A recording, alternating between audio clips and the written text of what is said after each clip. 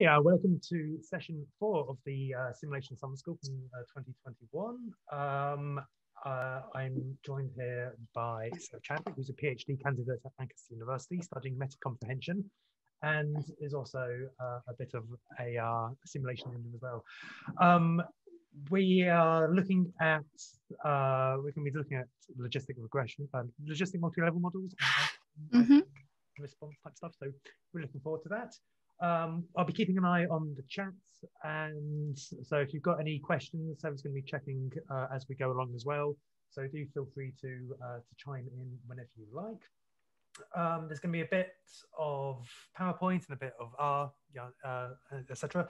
Um, so what I'll do is hand over to to Sarah now, and uh, I'll start going quiet. Thank you very much.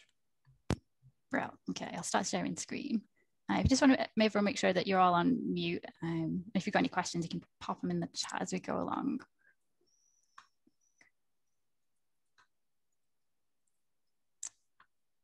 Okay, can you all see my screen okay?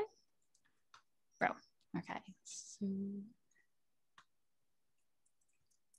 Okay, so yeah, first of all, massive thanks uh, for coming and a massive thanks to uh, PsyPAG and BPS as well for organising this uh, really great event. Um, and I'm really grateful to be here as well um, on delivering this session and talking about, well, simulating response accuracy data at the item level using a logistic multi-level model.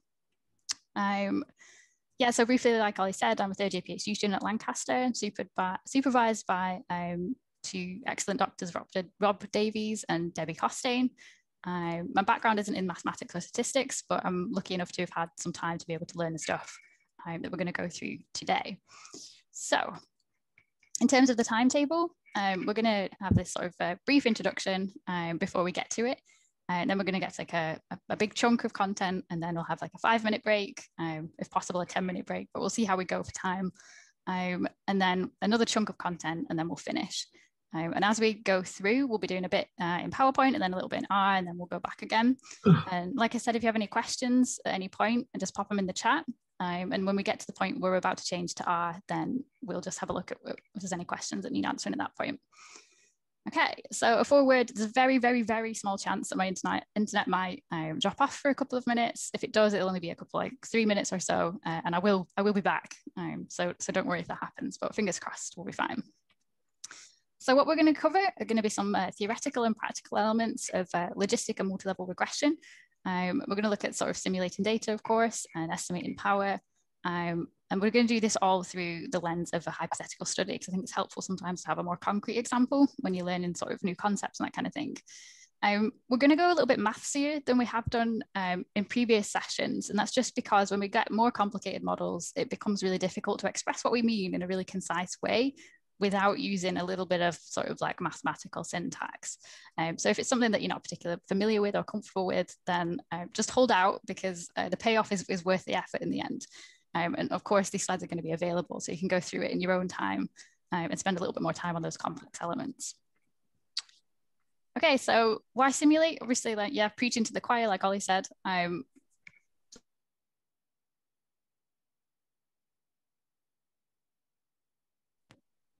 sorry. yeah, so why simulate? It's a valuable learning tool um, to evaluate experimental design and to construct a statistical theoretical model is another reason. So if you had like um, a particular opinion about how maybe some uh, phenomenon was being was occurring, you could produce a statistical model and simulate from that to test your predictions if you wanted to.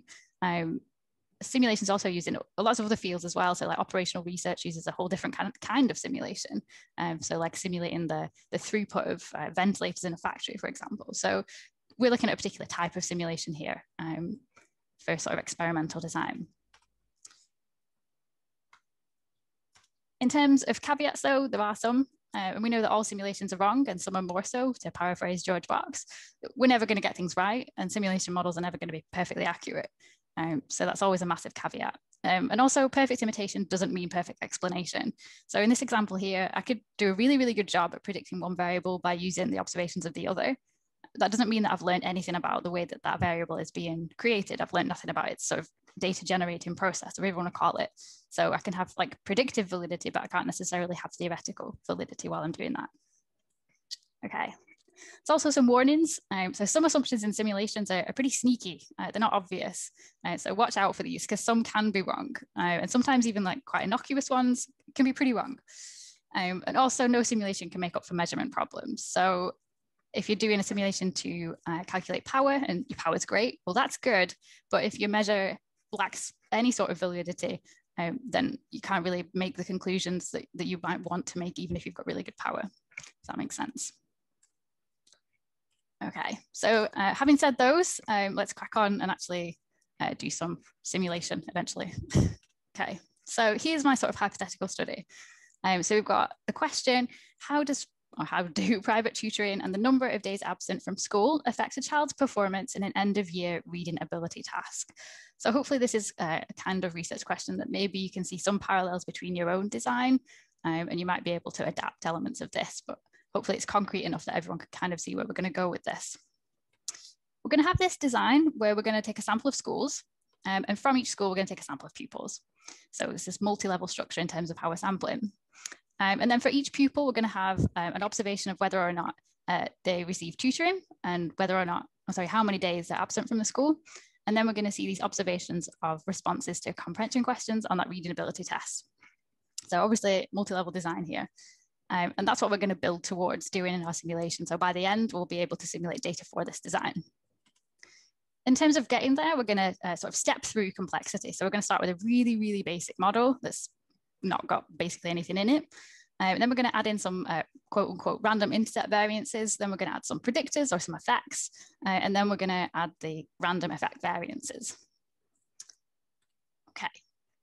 So every simulation needs a, a so-called data generating model or mechanism, whatever you want to refer to it as, which just describes the process by which the simulated data is created. So we can base our data generating model on a statistical model if we wanted to and use random sampling from a probability distribution to simulate that data.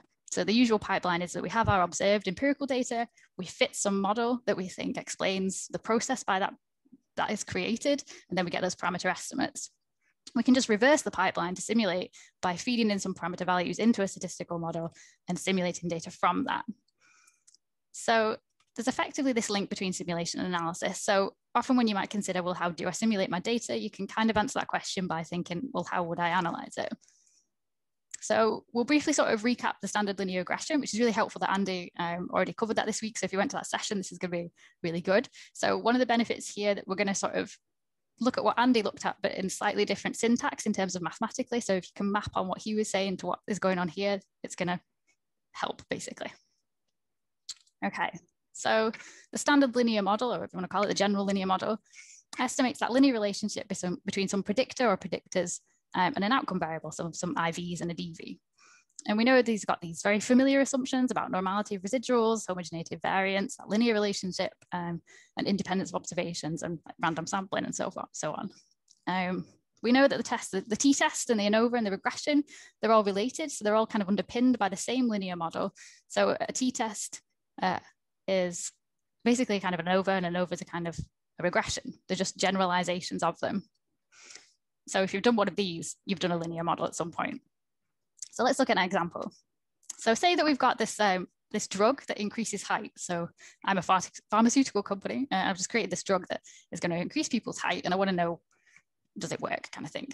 Um, so my, my DV, my outcome variable is going to be height and my IV is going to be group. People are either going to be in a control group or a treatment group. So they're either going to not receive this drug or they're going to receive the drug. Now, in terms of the assumptions that we make for our linear model, we kind of say, well, at the population level, each of those two groups is normally distributed in terms of height. So the control group has a bunch of people at the population level that has some mean and some standard deviation. And the treatment group also has some mean and some standard deviation, but the mean's different between them. But if that's the little one subscript here, so this is a one particular mean, and this is another particular mean. So they've got different means. And we could imagine that maybe the mean of the control group is about 170, which is pretty much the average height. Um, and then the mean of the treatment group is 200 per se. Um, so there's like a 30% difference, sorry, 30 centimeter difference. So let's imagine our, our drug actually does increase height by 30 centimeters. And then this sigma part uh, is the same. And that's that homogeneity of variance assumption. We're saying that the spread of these distributions is the same. Um, and then we're just going to set this to 11, which is more or less what it could be in terms of what the, what the spread would be. So those are the assumptions that we're making at the population level about those two groups and what height looks like and how it's distributed at them, in them at the population level. In terms of expressing that as a model, this is where it's gonna get a little bit more mathsy. So if we say that I index is an individual, so an individual that we've sampled, and G index is the group, then we can say that the observation of an individual in a group is normally distributed, and the mean of that distribution depends on the group and the variance is the same, or the standard deviation is the same for the groups. There's no index here. And then this is the linear model part. This observation IG of the individual in a group has some intercept value. It has some effective group where group is a binary variable. It's either zero or one in our data frame. And then we've got some variance here that we're adding on, which is specific for an individual in a group. And then we say that individual in a group variance is normally distributed with mean zero and this sigma, the standard deviation. So this is kind of just a bit that's added on after we've got this mean part here and this effective group. So in this situation, the, the beta zero, the intercept, is the mean of the control group, and beta one is the difference between the mean of the control group and the mean of the treatment group. Um, okay, so say we had data like this, uh, based on that 170 and two, 200 centimeters between the groups, we could fit a model in R. Um, so we'd have this, uh, this model syntax and we fit this linear model uh, so our observations of height for our participants and this predictor of group. If we get the summary of that, then it gives us the summary of the model. Um, and down here is where we've got our coefficients for the effects. And the intercept is estimated to be about 170 centimeters, which is basically what we, we said a minute ago. Uh, and the group is estimated to be about 30 centimeters. So there's that difference in height.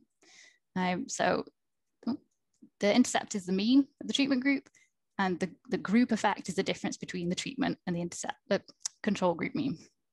And then down here, we've got the residual standard error, which is the sigma, the standard deviation part. And that's the same for both groups. That's that homogeneity of uh, variance assumption. And these map on directly to those um, statements about the population that we made uh, a couple of slides before. So we said that the control group is normally distributed with some mean and some sigma. The treatment group is normally distributed with some mean and some sigma. And then we had this model where each observation for an individual in a group is this linear combination of some intercept, some effective group, and some variance, which itself is normally distributed with mean zero and standard deviation sigma. So we take these estimates and they're just literally the values of them. And we can plug in the mean is just the 170 part. The mean of group two is these two added together. It's the difference in the means plus the, the base mean, if you will, the baseline. Uh, and then the sigma of those uh, is 11.4. So I hope that makes sense um, and just to get you a bit more familiar with some of the, the syntax we'll be using here. Okay, so in any linear, yeah, any linear regression, I guess any regression in general, um, we have two key components. Uh, we have a probability distribution, and that's the, the population distribution that we kind of like assume we're sampling from. And we have a link function, which links the predictors, so uh, the bits in our linear model, to the parameters of that probability distribution. And to see what I mean, so for that standard linear model we just had, that probability, probability distribution was the normal or the Gaussian distribution. And it has those two parameters, which are mean and standard deviation or mu and sigma. And the link function, which we don't usually talk about, is called an identity function. And that, that maps the predictors onto mu or the mean in a standard linear model. That identity function literally just means that everything's on the scale which it already applies on. So that 170 centimeters that was estimated in the intercept summary, that's literally the value of the mean. There's no transformation. The numbers in the model summary are the numbers that you can interpret in terms of that probability distribution. But what we are going to be looking at is the logistic model.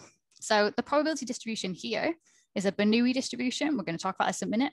And it has this parameter called theta. And it has a link function called the logit function or the logit function, uh, which maps our linear predictors onto that theta part. So we'll talk about the probability distribution and then we'll talk about this link function. So the Bernoulli distribution, which is named after uh, Mr. Jacob Bernoulli here, he looks very fetching, um, is a probability distribution with uh, which sort of describes an event with two discrete outcomes, which are usually labeled like zero and one. But that's kind of arbitrary. You could label them however you want, as long as the outcome only has two possible um, alternative option outcomes. So the parameter, that theta, sometimes labeled a p instead, that's the probability of, of getting a one. Or if you imagine a coin flip and you said one is heads and zero is tails, that's the probability of getting the heads. So here, if you say that theta is 0.5 or the probability is 0.5 of getting a heads, Well, you're going to get heads 50% of the time if you sort of flip the coin infinitely. That's what that distribution tells you. In terms of writing a Bernoulli model a little bit more mathematically, we could say for any coin flip i, so sort of like an instance of a coin flip, this is Bernoulli distributed with this parameter theta. And theta is the probability that that coin flip is a heads. So just a second ago, we had, okay, let's have the probability of the coin flip being heads as five. So 50% of the time, we're going to see heads. But say we have a bias coin and the probability uh, of getting heads is 0.75. It's pretty uh, intuitive. Then 75% of the time, we're going to see heads when we flip that coin. Okay. There is a related distribution, which is called the binomial distribution. Uh, and it will become clear in a little while why, why I'm mentioning this here. Um, and the binomial distribution is basically a sum of Bernoullis. So it's the sum of outcomes of a series of Bernoulli events with, with two outcomes. So it's basically like flipping a coin a few times and then counting how many heads, you, heads and tails you got. Um, and it has two parameters. It's got n, which is literally the number of trials, the number of times you flip in a coin, uh, and theta, that probability of, of seeing the heads. So here, for example, uh, n is three, so we're doing sort of three flips of a coin. So say we get like a heads and then a tails and a heads, and then we just count how many heads we've got. And that number of the count is what is the Bernoulli distribution. It's a little bit weird, I think, to get your head around uh, to start with. Um, so yeah, it's a count of the Bernoullis. In terms of writing that mathematically, uh, we could say um, for a total number of heads on some time that we're going to flip a coin a bunch of times, um, those are binomially distributed um, with this trial size and this uh, probability of seeing a heads. Um, so the probability of seeing a heads on any given coin flip is theta again, and the n is the number of trials that we're doing.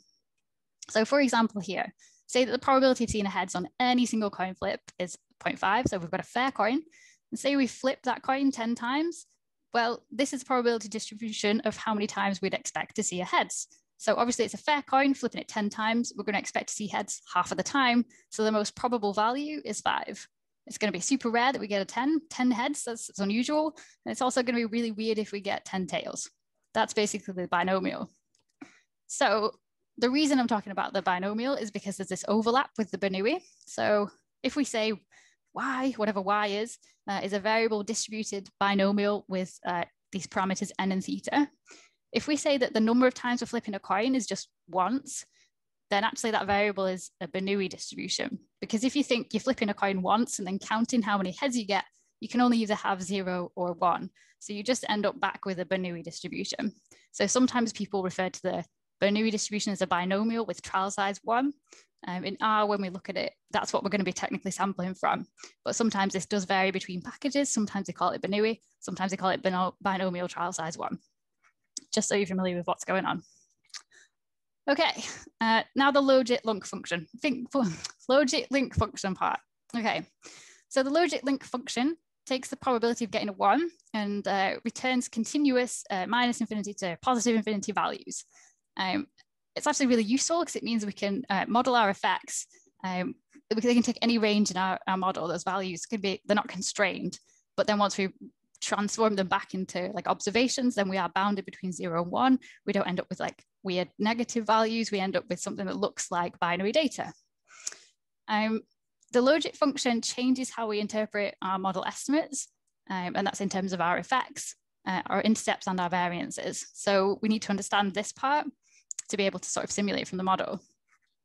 It sounds kind of complicated, but it's not. Um, the logit function is literally the log of the odds of getting a one. So in terms of the steps to calculate the, the logit, um, you would take the, the, probability of getting a one, so count how many times you see a one out of the number you can. Um, calculate that as an odds. So if you're kind of into gambling, then odds ratios and that kind of thing will be quite familiar. Um, and then you just take the natural logarithm of that. Um, so that's like a, just a button on the calculator, basically. Um, and that's kind of all there is to the logit function. Uh, it's quite a neat little thing. So it changes these zeros and ones into this big range of uh, continuous values. Okay, so an example, say that our probability of getting a one is 0.9. So we've got a super, super biased coin now. We're almost always going to see heads. What's the logit of it? Well, the probability is 0.9. The odds of that is 0.9 divided by 1 minus 0.9 for the odds. So the odds of that is 9. And then we just take the log of it, and the log of 9 is about 2.2. you don't have to do this by hand. So in R, there's this uh, library called Psych, which isn't one of the libraries I put on the information, so I apologize, uh, but we will be using this. It's only a small library, I think, um, which contains these two functions, uh, logit and logistic. The logit function goes from probability to log odds, and the logistic function goes to log odds to probability. So really handy, saves a little bit of time for um, not making quite as many mistakes, hopefully. Uh, in terms of model fitting, so if you wanted to fit a logistic model, you don't need to apply this function. It's all sort of done internally. Um, and there's nothing for you to, to really do. You just apply those zeros and ones and the model takes care of the rest. But for simulation, we need to simulate log odds units and then convert them to probability and then simulate from the model. So let's do that. So getting back to where we started. So we had this question, how do private tutoring and the number of days absent from school affect a child's performance on an end of year reading ability task? Bit of a mouthful. So our outcome is going to be this response to this readability task, and they're, going to either get it wrong or they're going to get it right. And our design is going to be that sample of responses uh, to questions from pupils in some school. So we're going to use this kind of uh, indexing. We're going to say the response of pupil P to, uh, from school S to question Q. So P is pupil, S is school, Q is question.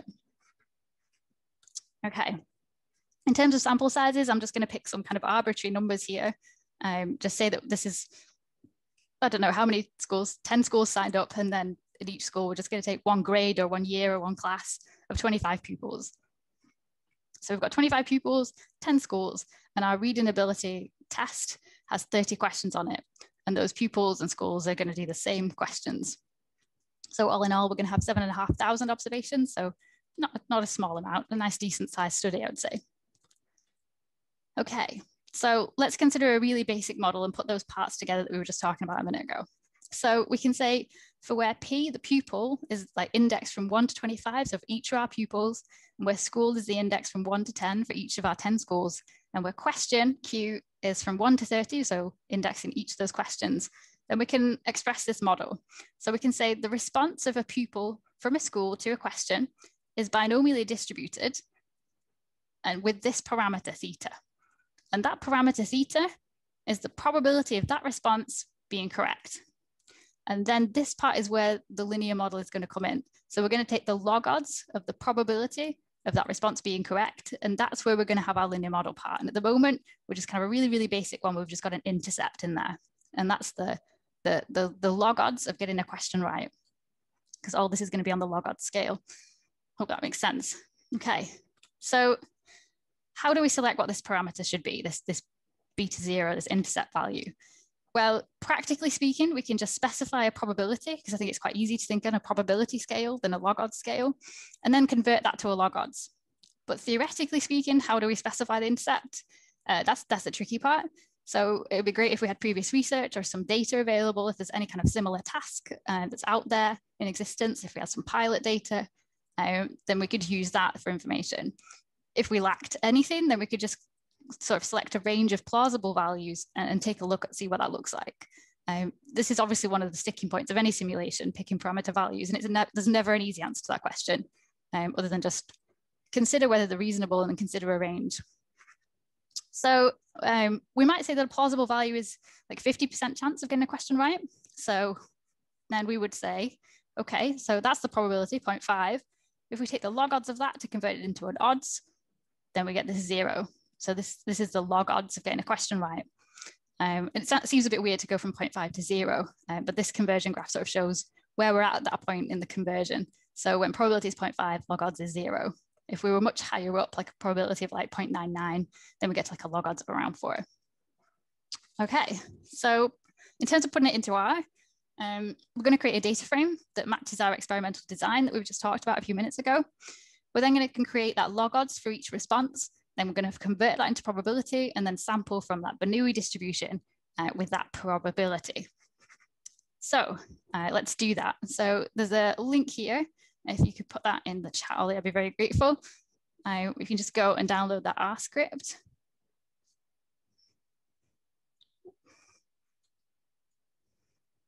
And if you do, click on the link, then you'll go to this page here. If you just click download and open that in R. and then we'll take a look at an R in a second. But first, we'll just take a look if there's any questions in chat. None so far, but um, if anyone does now, that'd be a great time to, to post them. the terrifying thumb. Yeah, yeah, it's, it's creepy, isn't it? No. Okay, so open R. Okay, so is the zoom okay on this or do we need it a bit more zoomed? I'm gonna take that as a yes, it's okay. Okay, so uh, when you first open this uh, R script, if you take the Sorry, outline. Somebody's asked for a bit more, a bit, a, li a little bit more zoom. A little bit more, yeah, yeah.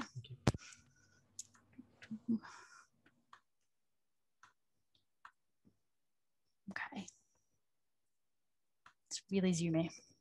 That's actually not that much more. It's a little bit more. Hopefully it's a bit better. I'll see if you could change it to a white background as well, if that's possible. Yeah, I was just wondering that as well. Might appear a bit, a little bit better. Thank, uh, thank, thanks for the comment, James. There we go. Okay, no, you can barely see that. It's so gray. Sorry. What's a good one that's got really good uh, contrast?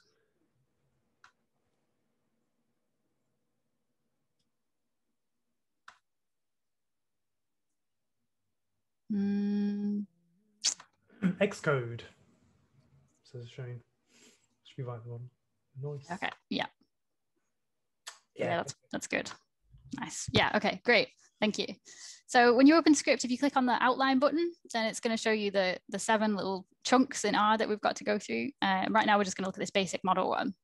Uh, before we do that, um, right now, we only need the uh, the psych and the, L, uh, the ggplot library, I think. So you can run those if you want, or you can run all of them. It's up to you. I'm just going to run all uh, to make sure I've got them all loaded so I don't forget later on and get an error. Okay, so um, here, I'll pull this to the side a little bit. We've got this uh, basic model that we've just uh, looked at a second ago, where we've got these responses to questions being Bernoulli distributed with this parameter theta, which is the probability of that response being correct. Uh, and then our logit of that, the log odds of the probability of getting it correct, uh, is just given by beta zero. That's all that's in the model. And our beta zero, we're going to say, is uh, the logit of 0.5, so the log odds of 0.5 probability. Our design, like we said, we're going to have 30 questions, 25 pupils from 10 schools. And that's basically, we're just declaring the things that we've said before. So the first step here is what I'm going to do is going to create some uh, objects in the R environment, which capture these numbers basically. So if I run this line, then in your environment, you're going to have this value, which you can see here. Uh, and if you just ran this bit and didn't create the object, then we just see we get a printout of it being zero. That's that log odds of 0.5. Okay, then I'm going to create an object for the number of pupils, which is 25, for schools, which is 10, and for questions, which is 30. But I'm also going to create an extra variable called the number of pupils total, which is just going to be the number of pupils times the number of schools, because I'm doing 25 pupils from each of 10 schools. So this is going to be 250. So have a look down here, and pupils total is 250. Okay. The next thing I'm going to do is going to create this data frame which matches the design um, that, that we wanted. So I'm going to create this sim data frame, simdf, uh, as a data frame of three columns, one for pupil, one for school, one for question.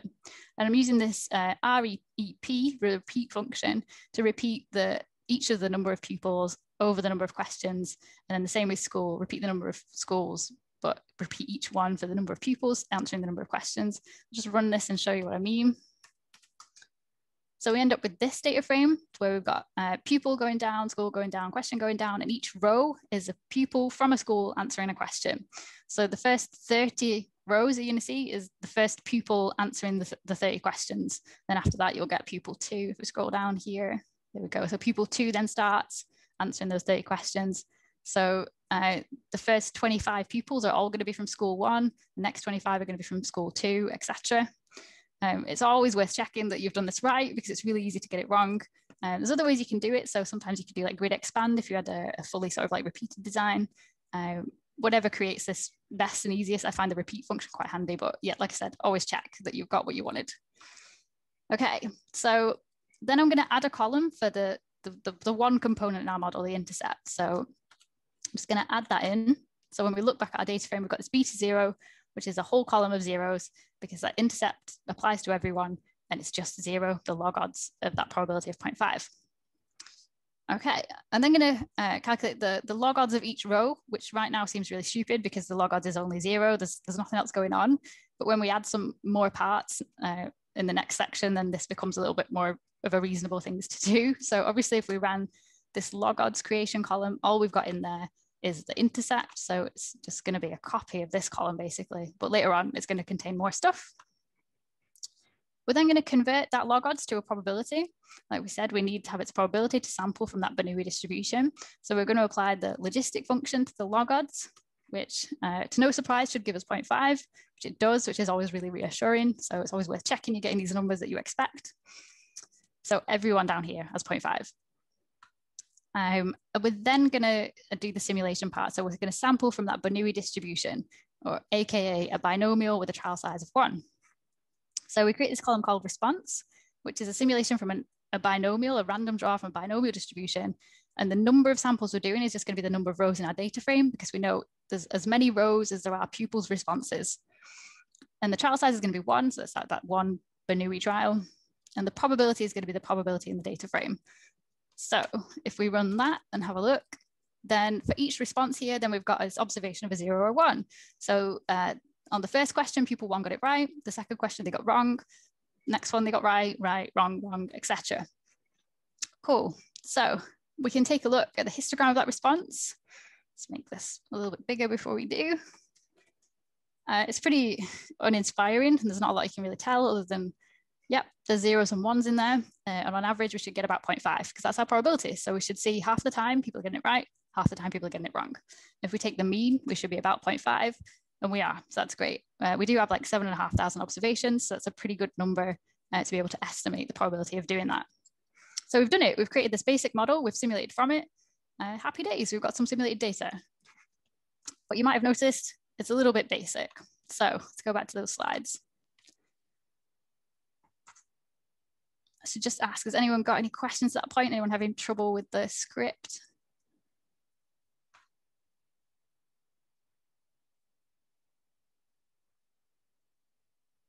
Cool, okay. Ooh. Right then. So let's get back into it. So, oh, that's the start. Try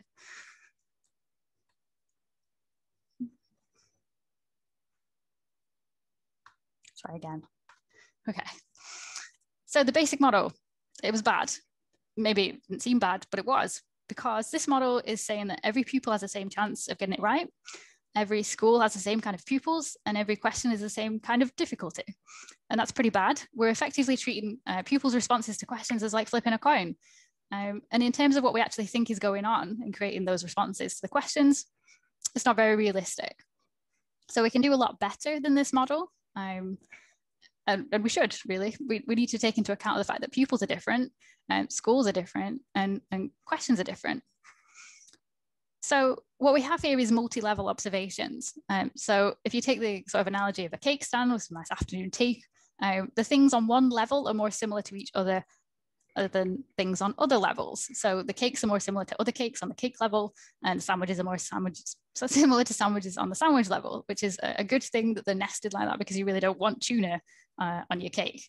So the model that we just had a second ago completely ignores this. Uh, and that's bad because when we have this nested data, then we end up with sort of these, these correlated residuals. So we're not sort of having independent observations that are completely independent of each other. We have this nesting that means my response is more similar to my other responses than your responses are.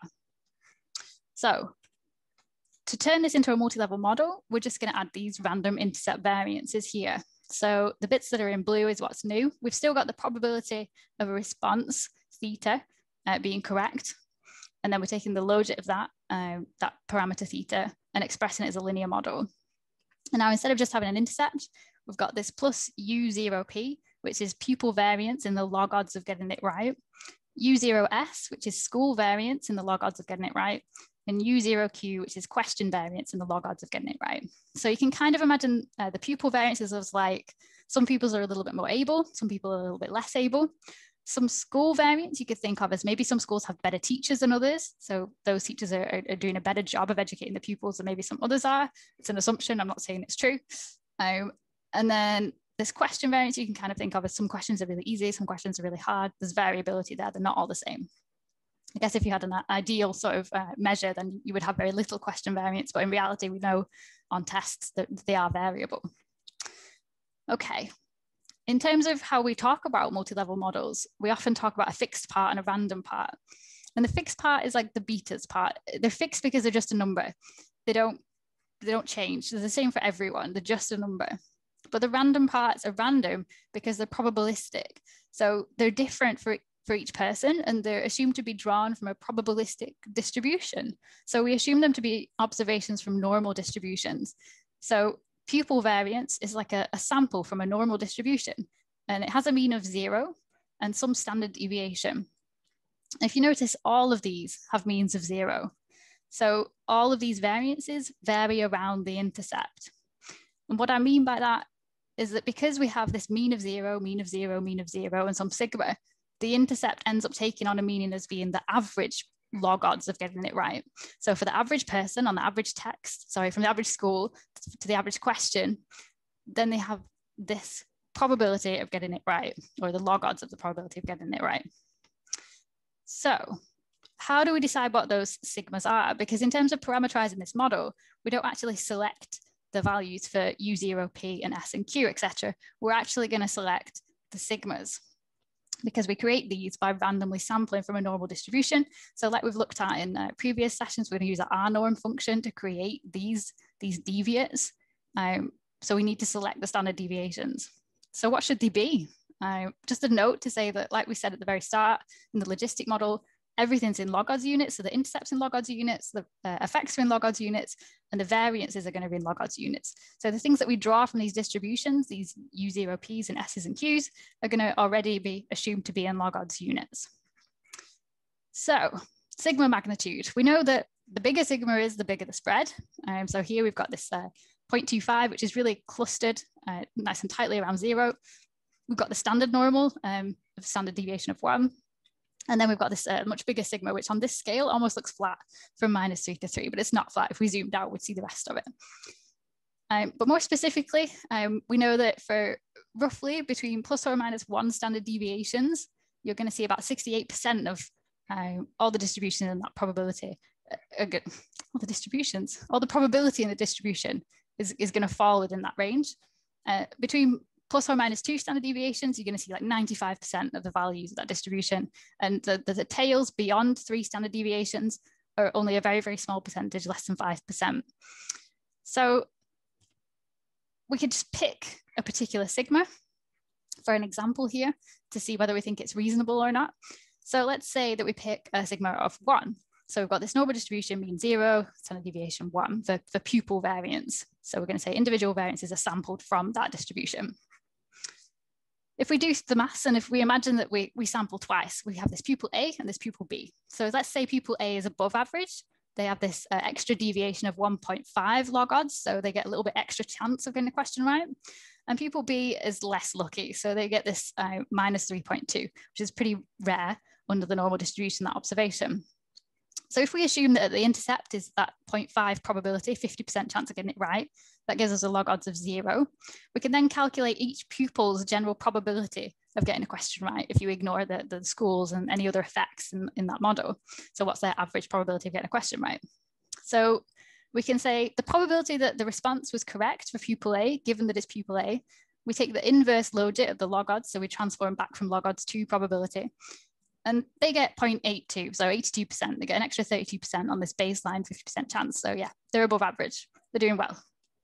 But the probability of the response being correct for pupil B, uh, we take the inverse logit of that. So we've got this, the log odds of 0.5, which is zero, take away their deviate, 2.2. Um, they get this probability, so 0.04. Uh, so like a 4% chance of getting the question right, which is uh, quite, a, quite a big 46% chance less. So you can imagine this is like a more able pupil, uh, and this pupil's really not doing well. Um, but also in logistic models, there's this extra slight complexity. When we think about the meaning of these deviates, it's sort of slightly tied to the intercept. Everything's relative to where that is when we talk about what probability is. So if we change this slightly, we still have the same deviates here, but let's say that on average, for an average pupil from an average school to an average question, the probability of getting it right is uh, 80%. So let's say in general, the test is easy. So the logit of that is 1.37. If we put that number into the equations and we keep these deviates the same, we get this 1.37 plus 1.5 inverse logit, we get this 0.95. So here we're getting 15% extra. And if you recall from the slide before, we had 32% extra. So the difference depends a little bit on where the intercept is when we're calculating the probability. For this person here, pupil B, uh, we put this, this different number in, this 80% chance in logits, uh, minus their 3.2 deviate, uh, and their percentage chance of getting it right is 14%. Uh, so they, they see a bigger drop. So it's worth bearing that in mind that sometimes um, the, the probability of something depends on where the intercept is, because this transformation between log odds to probability isn't linear. So sometimes you also need to consider that when you're thinking about effects and whether they're a reasonable sigma or not. Okay, so for argument's sake, say that we selected these sigmas. I'm not basing this on research. Uh, this isn't my area of expertise. Um, and let's say I've been particularly lazy and I've not even tried to find any information. So I'm really just uh, selecting these for convenience here. Um, but they're numbers that I would I would say generally they're not unreasonable. Uh, they're not crazy big and they're not crazy small. Um, so they're, they're okay numbers. They're, they're somewhat plausible. But if I was actually doing this properly, then I've definitely not done due diligence here. So let's say uh, the variance for a pupil is normal, mean zero, standard deviation one. We're going to say schools are a little bit less variable, so maybe the quality of teaching doesn't really differ too much between schools, but there is some noise. Uh, so their standard deviation is going to be 0.5. And we'll say that questions are, a little bit noisy too, as noisy as pupils say. Maybe that's not a reasonable assumption, maybe it is. Depends on the test. Um, and we'll say that their standard deviation is one. Okay, so now we can put that in R. So if you would mind popping that link in the chat again in case people haven't got it, I will have a look and do that in R now. Oh yeah, are there any questions as well at this point?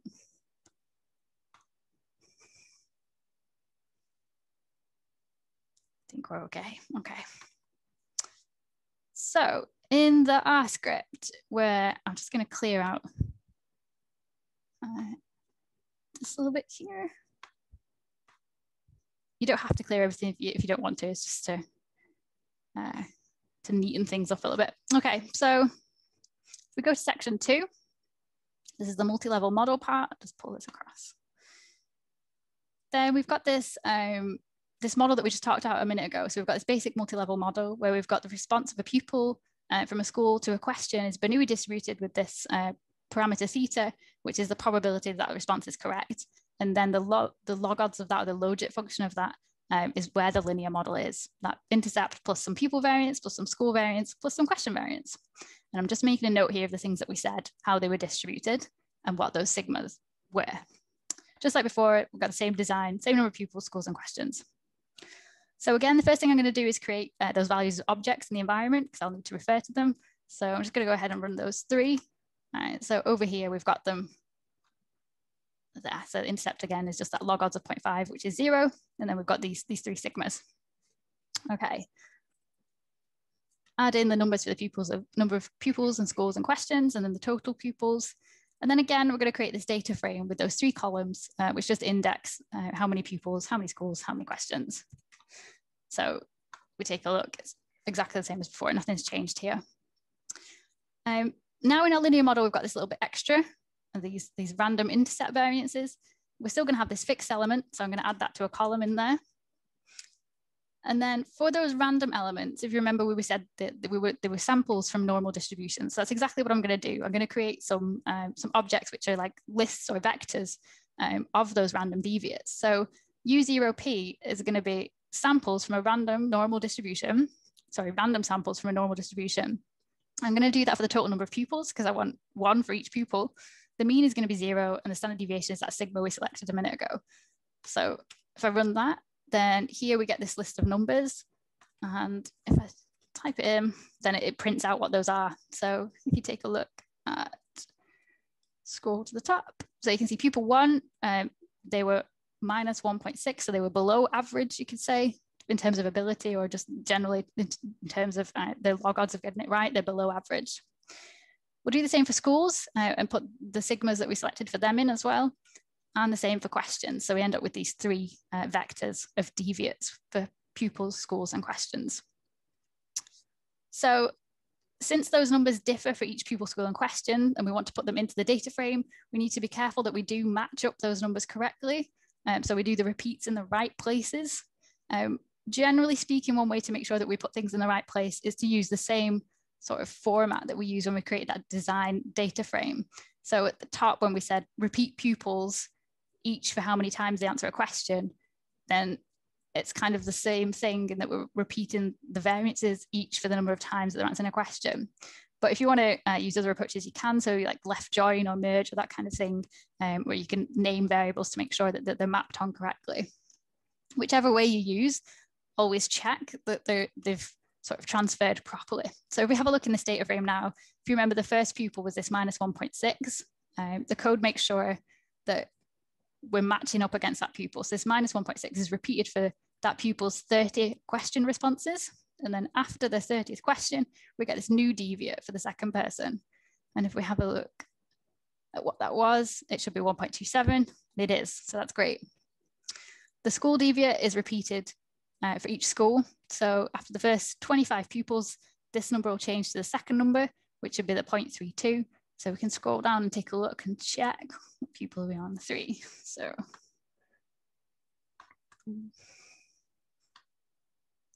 obviously there's uh, more efficient ways of checking. Um, but if you just want to do a quick check, uh, yeah, so we're at 0.325. And then question variances, that just loops through the questions.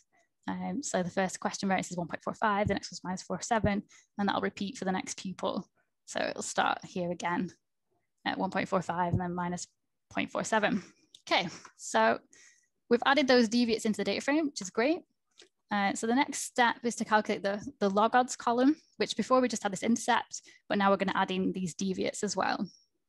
So if we run that and take a look in our data frame, then this log odds column is just summing across these rows. So we've got uh, these columns, sorry, we've got the intercept, which is nothing, and then we're just adding up each of these deviates. So this is each response's log odds, basically. So for any pupil from a school answering a question, this is the log odds of the response being correct.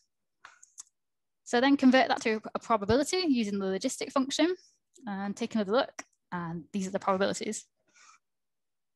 Okay, and then the next step, as we know, is to put that probability into a binomial distribution with a trial size of one, so a Bernoulli sample, uh, to get those response observations. So take a look. Uh, this, this, first person didn't do well.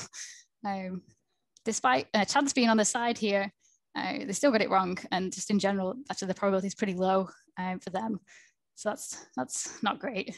Uh, but I guess the, the random deviate is below average. So yep, they're just not getting questions right. Uh, if we look at the histogram for that, uh, make it big enough to plot first of all. There we go. Uh, we still see this even amount of zeros and ones.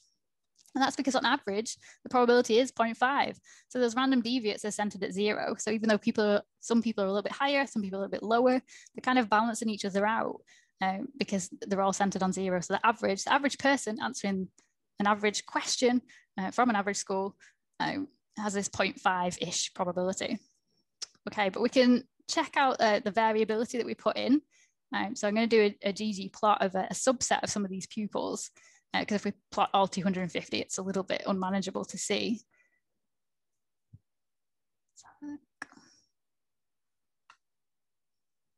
It's a little bit slow, but okay. So in this plot, um, each sort of box numbered one to 50 is a pupil basically. And these are the, the frequency counts of how many questions they got right or wrong.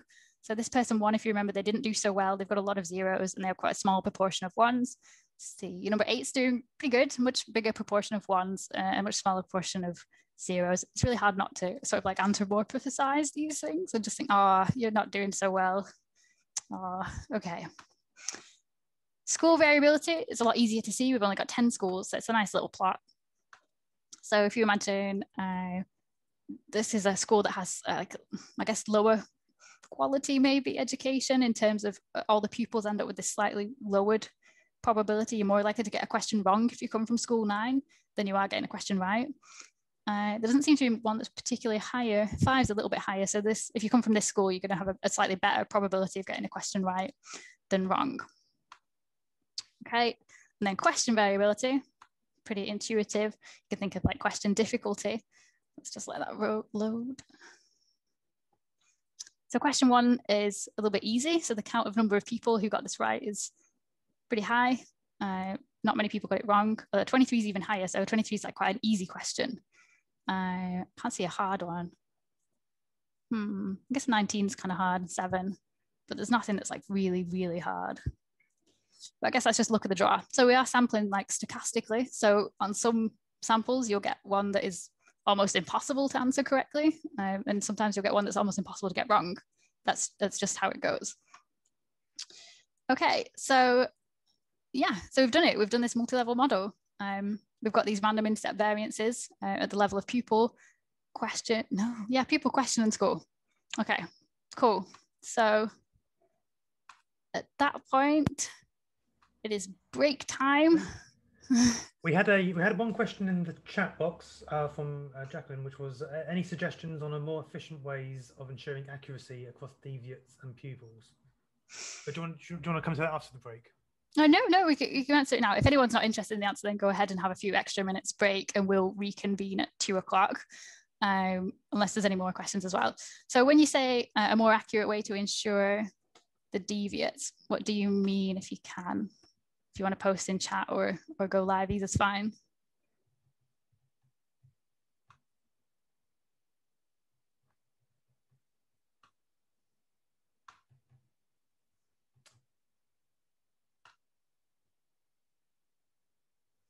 Oh yeah, so just said, yeah, with some left left join. Um, yeah, left join is quite good because you can name the columns and say uh, you match them basically. So for participant one, match with participant one. Uh, so that's a really effective way of doing it. Um, I wasn't sure if you meant sort of sampling accuracy, as in how do you always make sure that that's your standard deviation or something like that. But yeah, in terms of actually matching those columns, left join is really effective for doing that. Um, you can also sort of um, consider like if you've got the right unique numbers. Um, so for, if you think of, is it like one to two maybe. So if you take a look at these, if you, it just prints out the unique pairings of that column. So you can see everyone in school one goes up to 25 and then school two starts from 26 and down again etc. Again, that's still eyeballing though. Um, and then you could do schools to questions. So school is always um, being shown against those 10 questions because the pupils within those schools are always responding to them. But yeah, left join's the best way um, if you want to guarantee it and you don't just want to want to repeat it. Uh, which is sort of, I think it's a, is it a dplyr library? Function even put some um, some comments uh, in the chat if anyone else is interested in doing that. Uh, some step-by-step code. Excellent. Okay, yeah, break time, I guess. Thank you very much. Yeah. Get a cup of tea. Uh, maybe have a, a lie down. Uh, if yeah. you want to leave at this point, that's fine. I will, will take you personally. Um, yeah, thank you. We'll see you at two o'clock.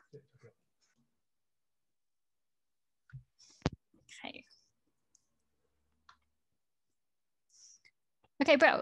Uh, so I hope you had a, a nice brief break. Sorry it's still longer, uh, but there's still plenty to go through. So now we're going to look at um, those predictors. Uh, we're going to look at power and we're going to uh, touch on slopes. We probably won't have a lot of time to look at like covariance and that kind of thing, but, but there's some in the script. So if we don't, it's still in there at least. Okay, so um, if you remember, uh, we had this research question that was how do private tutoring and the number of days absent uh, from a school year affect child's performance on an end of year reading ability task. So to be able to add predictors, we need two things. Uh, we need to have observations of those predictors, uh, like Andy was saying the other day, uh, and we need to add the effects of those predictors to the model. So there's two jobs to do here. We'll do these one at a time. We'll do the observations first, and then we'll look at the effects. So this predictor tutoring, this private tutoring measure, uh, we're just going to measure that as binary. So was tutoring received, yes or no? Um, so in terms of like the quality of this measure, we're actually not considering how much tutoring someone had. We're not considering how good that tutoring was. We're just saying, did you have it or not? Not how many times, who was it with, just yes or no. So we could say that these observations of tutoring uh, are like a balanced design. We could say people are kind of like uh, assigned to groups, they were tutored or they weren't, and we could have like that 50-50 uh, in the data frame. So kind of like the same way we'd um, assign people to treatment and control groups. But with this kind of measure, whether someone was tutored or not, we might want to consider something more probabilistic because we're kind of like taking observations. So we could kind of say that if we ask someone if they're tutored or not, it's a bit like taking a sample from a population. And then we could start to make statements about the population of, of what tutoring looks like. So maybe, maybe 30% of the pupils in the population receive private tutoring. I don't actually know if this is true or not. Um, maybe it's actually quite a lot more. I'm not sure. I guess it does vary by country as well. So we could have this, this model effectively um, that it'd be a Bernoulli whether someone had uh, received tutoring or not. So we're going to have a model within our model, really, a model for the predictor and then a model for the outcome. So we could say that the tutoring status of pupil P is Bernoulli distributed, which you know is, is zero or one, with this parameter theta. And that theta is the probability that that tutoring status being one. So the probability that child having had some tutoring. And we're going to have a model for that, um, the probability, the logit of the probability of that child having tutoring as just the intercept as beta zero. So kind of like that basic model we had a few minutes ago, but now we're just saying about the whole population of people receiving tutoring. And if we said that uh, that is just the value of the logit of 0.3, then that's like saying every pupil in the population has this chance of 30% of having had received some tutoring or not. So might not be the best assumption, uh, and obviously, if we were doing this for real, we'd want to do a little bit more digging uh, and not just sort of throw wild statements around about how many people received tutoring and how many people didn't. Okay, so that's how we're going to create our observations. So how do we put the effects in? Well, we kind of just slot them into the model that we've been building. So again, back to this uh, outcome model of response from pupil P, from school S to question Q, Bernoulli distributed, as we know, parameter theta. Theta is the probability that that response was correct. And then here is our linear model part, which is the log odds of that probability being correct, uh, answer being correct, sorry, the probability of that answer being correct. So we've got the intercept here, and then we've just slotted in this part. And this beta one, that's the value of the effect. So the change in the log odds of a one unit increase in tutoring. This tutoring is like a, that binary variable, that observation that we're going to create. That's either a zero or a one. And then we've got our uh, random deviates here the pupil, school, and question. So we're keeping those in there. We're just adding something extra. Okay, so the unit increases thing, um, it's the same with just a, a general linear model. Um, so how much does it change by? So when tutoring is at zero, then all that we've got in that model ends up being the intercept because whatever that effect is times by zero, it's nothing. If we just ignore the random parts for a second, because we know on average they average out to be zero, then we always just, just have this intercept. So when tutoring is zero, all we have is intercept. When tutoring is one though, so tutoring is yes, if you will, uh, then we have the intercept plus this one lot of this effective tutoring. So the, the log odds of the probability of it being correct will be the sum of these two. Okay, so how do we decide what that value of uh, the effective tutoring should be? Well, it's one of those problems again, one of those catch 22 situations. We don't know, we have to guess, we don't like guessing. Um, ideally, we want to base it on previous research, some source of information, some data, some related task. We could also base it on theoretical uh, expectations of what, what we think it ought to be. Um, but we could also think about other ways. Uh, if we're doing like sample size analysis, we could think about the smallest effect of interest or the smallest effect of relevance, minimally relevant difference, it's sometimes called. Uh, we can also think about the smallest effect that we could look for that we actually have resources to look for. So like that sensitivity uh, analysis kind of approach. So what can we afford to find? Um, and if all else fails, we can kind of just select um, a range of plausible values. And to, to, be fair, it's always good to consider a range of plausible values, even if you're just considering the smallest effect of interest anyway. Um, okay, so say that for convenience, I'm just gonna select a number here. So we know that for someone who's not receiving tutoring, the average probability of getting a question right is 0.5. So that's what this is line, this line here is saying. So the probability of that response from a pupil, from a school to a, a question, keep saying text, sorry. Um, the probability of them getting that right, that response, given that tutoring is zero, so they didn't receive tutoring, has this probability of 0.5. So let's say that this increases to 0.65 uh, if, if you have tutoring. So having tutoring basically increases your chance of getting something right by like 15%. So like pretty decent chunk. So tutoring is a good thing in this situation. But we need to express this in log odds because if you remember everything in the model, the linear part of the model is in log odds units. So we need to convert this and we need to calculate it as the difference in log odds or the change in the log odds for a one unit increase. So first of all, calculate the, the log odds of the 0.5. We know it's already zero. because that's what we've been working with in the model, and calculate the log odds when tutoring is at a one. So that's the intercept plus the, the log odds um, for the beta one part. And that's the 0.619. So that this is basically just uh, the log odds of 0.65 from this slide. So here the log odds of this is zero, and here the log odds of this is 0.619. Does that make sense? So this change in the log odds for a one unit increase in tutoring takes us from zero to 0.619. And what that means is that unit increase is the coefficient, that is the, the effect that we need to put in our model. So beta one equals 0.619 or 0.62 for convenience. Okay, I hope that makes sense. That was a little bit unclear, sorry. So we can have a look at that in R if you've got any questions, happy to answer them. And then we'll put that predictor in.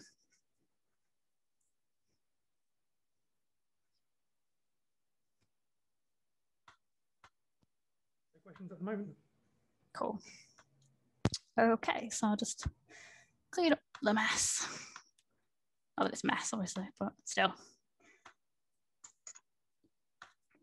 Okay, so uh, section three, one predictor. So I'll just clear that away. So we've got this model that we just defined. It's the exact same as before that we've got the response, Bernoulli, theta, it's probability getting it right, and the logit of that is the linear model part. But we've now got this extra term in here, which is this beta one times this, this tutoring observation uh, for pupil P. And again, I'm just making a note of, of other the values that we've selected. So here, beta one is this difference in the two situations. So here, it's the log odds of the 0.65, take away the log odds of the 0.51. And if we run that, that'll give us that 0.619. Okay, same design again, 30 questions, 25 pupils, 10 scores. Okay, then we're going to create the objects in the environment again, the values that we've selected. So just create these. Put this down a little bit, you can see them a bit better. Across. Okay, uh, same numbers of pupils and schools, like I said, to create these as objects and then create that data frame. So it's exactly the same as before, just got the columns and each row is an observation. Then I'm going to add in the effect of predictor, the, adding the effect of the predictor. But first of all, we need to simulate those observations of the predictor, like we said. So we've said that we're going to simulate observations of tutoring according to this model. So we've got the tutoring status of pupil P is Bernoulli distributed with this parameter theta, where theta is the probability that that pupil actually received tutoring. And that log odds of that is just the intercept. All that's in there is this 0.3 probability basically. So this is saying every pupil has a 0.3 probability um, of having had tutoring. So exactly what we said a minute ago. So to do that, uh, I'm just going to skip to using the rbinom function and we're just going to put this probability value in raw. Um, so rather than go through the steps that we've done before, uh, where we sort of specify it as log odds and then convert and then sample, just because we're not going to add to this, I'm just going to put the probability straight in there and sample from it. So we've created this, uh, this vector of observations called tutoring status. So if I print that out, I'm going to have 250 zeros and ones. So there we go. So the first one, two, three, four, five, six, seven pupils were not tutored. The next two were, etc. That's what that's saying. And then I'm going to add that to the data frame. Again, I'm using this repeat here, but if you prefer to use uh, like a dplyr function, then, then do that. Um, okay, so then we, here we got the, the tutoring status. And again, we're repeating that for each pupil. So pupil one wasn't tutored. So that's going to stay zero all the way down. If you remember, I think it was only until we got to the eighth person they were tutored. So we won't see a one in this column until then. Yeah, so there we go. It only starts tutoring here. Okay, um, and we can also check that, that we're about where we want it to be in terms of uh, the mean of that, as in like the proportion of, of ones in that column, which should be 0.3 there we go, we're a little bit over. So that's just a function of the fact that we are randomly sampling from this distribution. So on this, this occasion, this draw, um, it's 0.32. Obviously, I've not set the seed in, in the script anywhere. So when you're doing it, you'll get a slightly different number too. Okay, so now we're going to uh, add the components of our linear model to our data frame. So we've got the intercept, we've got this effect. We've already got this tutoring observation in the data frame. We're not going to add that in again because we've already got it. Uh, and then we've got these random variances. So let's pop the fixed effects in. And like we said, fixed effects are just a number, the same number all the way down. They don't vary according to what the indexes are, the pupil, the school, and the question. Uh, I'm then going to create those deviates again for the pupil, the school, and the question, and then add them to the data frame. I won't uh, label the point because we've done that before. There we go, got those in as well. Bro. So those are all the components we wanted for our linear model. I'm then going to create the log odds of each row. So our log odds is just following that exact same format. So we've got the intercept, and then we've got this effect times by the, the observation of whether they were tutored or not. Then plus all our random variances. Then we're going to convert that to a probability with this logistic function. And then we're going to use that probability uh, to randomly sample from a, a Bernoulli distribution or this binomial distribution with a trial size of one. Okay. So if we take a look, uh, it's getting a bit long at this point, um, but the log odds here, you can calculate it manually to double check that your, your code's right. So you could take this intercept zero and add nothing to uh, whatever the tutoring value is times beta one. So this person doesn't get this sort of extra boost from tutoring because they weren't tutored. So the log odds here is literally just gonna be these three numbers summed together. But then when we get down to like pupil eight, which is a bit of a way down, there we go. So they were tutored. So in theirs, we're gonna end up with a slightly higher number because we're getting one times this number here plus the deviates to give the log odds converted probability uh, with the response, which actually they got wrong on the first question, but the rest they got right. So go them.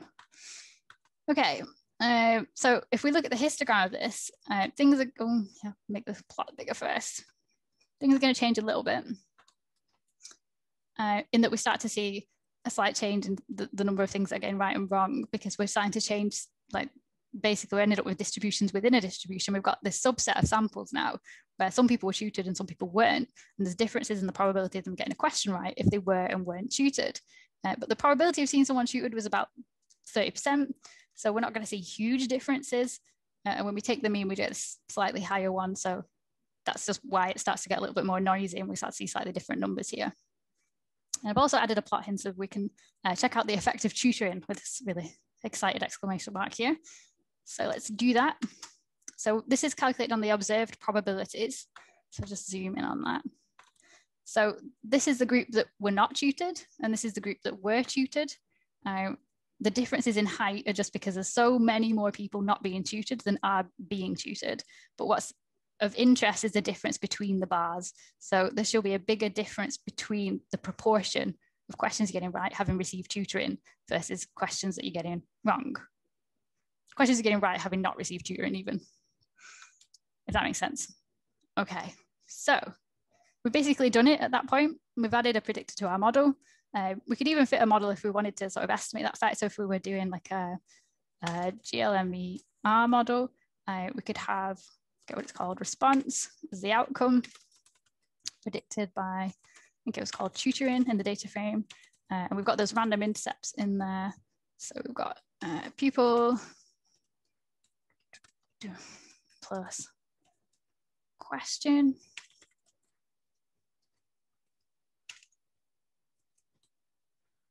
School, that's everything. The family, again, classes as binomial with a logit link. And the sim data frame is where it's held. Just call it model. Let's take a second to run hopefully not too long. there we go. Okay. So if we take a look at that and see how, how accurate we are. Yeah, so not great actually. Um, but we do get a significant effect at least, uh, which we're going to look at in a, little while after the next section. Uh, so the intercept estimated to be 0.33. It's, we, we know we actually simulated it to be point at zero, to zero, and the effective tutoring we're getting this uh, 0.45, and we wanted that to be 0.61. So at least we're in the right direction anyway. Uh, and these variances, the standard deviations, if you remember, we had the sigma one for pupil. For question, we had sigma one, so we're a bit under there, but we are sampling a sample of, of 30 from a distribution. So if you think how representative 30 observations from a normal distribution is, it's not surprising. Um, although this one's pretty, pretty on point. So uh, we wanted this to be 0.5. If you remember, the sigma for school was 0.5 and we've got 0.54 here. So not too bad. Okay, so let's copy the GLMER code into the chat. Would that be possible, please? Sir? Yeah, it is actually lower down because in a little bit we're going to fit that model and simulate from it. So, but I'll put it in anyway, just because it's exciting, isn't it? Uh, plus, it's interesting to see on your your set where you where you got up to in terms of your effects and what's in there. Okay, so I'll go back to the PowerPoint.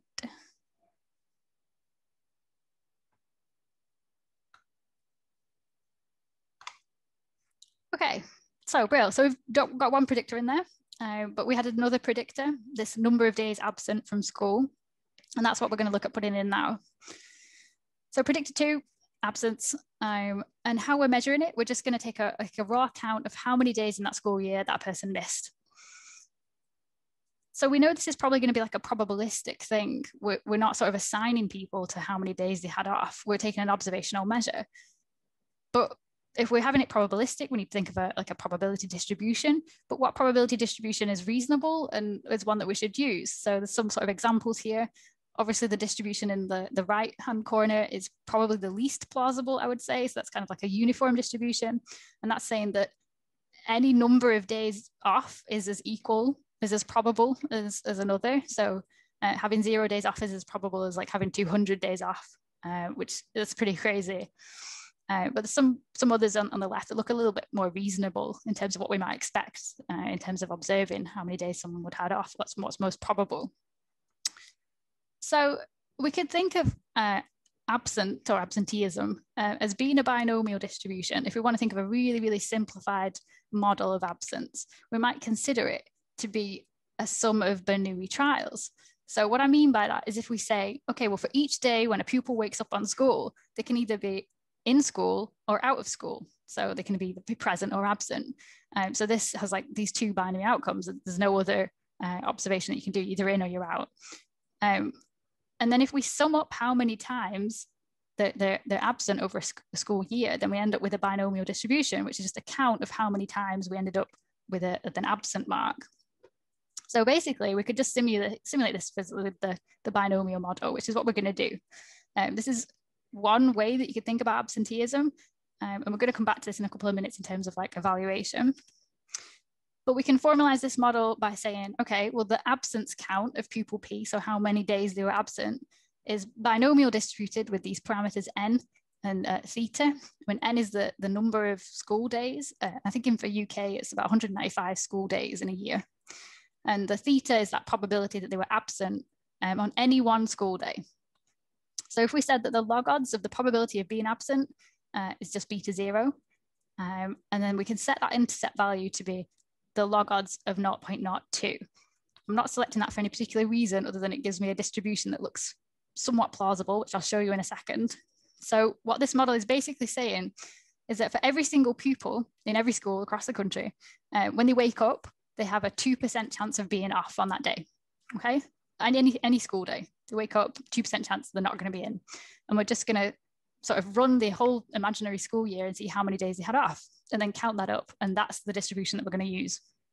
In terms of what that looks like, this is what I mean in terms of sort of reasonableness. So we end up with this quite common number of days off. Um, it's not super common to be in all the days, but some people are doing it. So they have these zero days absence. Um, and it's pretty uncommon to have more than, well, more than 10 days off actually. Um, even when we get past 15, the probabilities here are really, really low.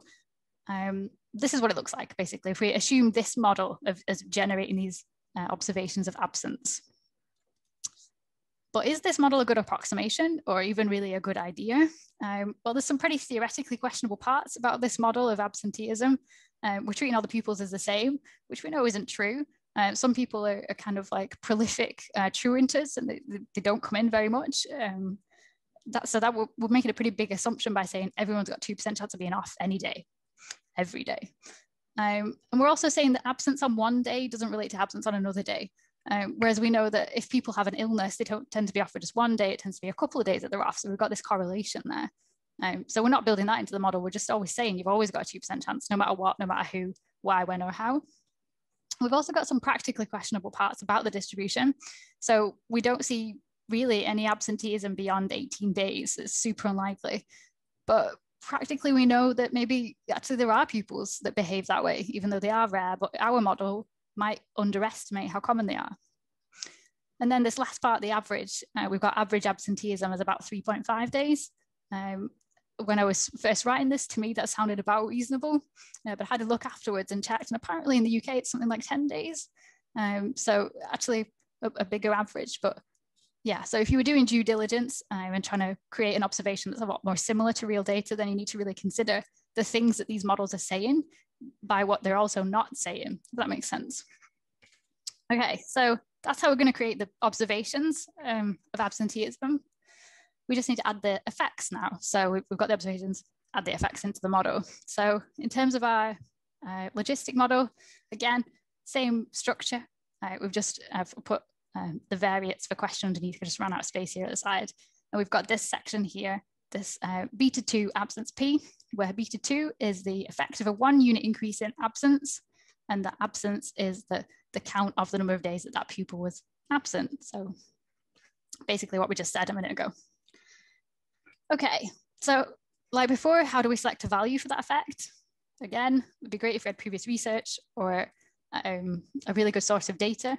But ultimately, when it comes to parameterizing your effects, if you knew what it was, you wouldn't be doing your study. So you've always got to take a, a bit of a, a guess here um, and select a range of values or what's plausible, whatever um, you can justify and what, what meets your, your needs, I suppose.